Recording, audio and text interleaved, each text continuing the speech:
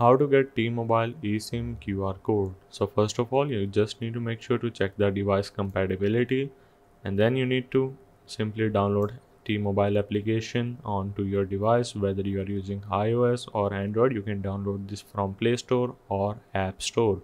Then you need to log in or sign up with your account. Then you need to simply choose the T-Mobile plan that you want to go with and simply complete the transaction. Now you will gonna receive the QR code onto your email or within the app as well. Now in order to activate your eSIM you're just gonna need to click on add cellular. Then you will have the option of use QR code which you can click on it. And then you just need to scan the QR code that you have received onto your email.